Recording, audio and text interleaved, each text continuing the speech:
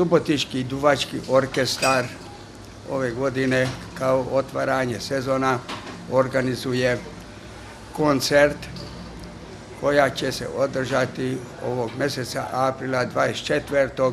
početkom 19 časova i ulaz je besplatno, besplatan.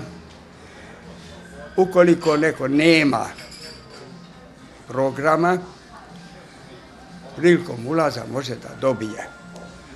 A ovaj koncert u stvari nama je glavni, glavna proba za ove godine sa programom koji je predviđeno na festivalima i na takmičenjima u zemlju i u inozemstvu, ali smo organizovali za vas koji su ljubitelji te klasične muzike da vidi prvi put i da mi vidimo kako ćemo proći jer vi nemate prilike da da prisustvujete na tim festivalima i takmičenjima, a sada imate prilike da vi ocenite naš uspeh koji smo radili cele zime.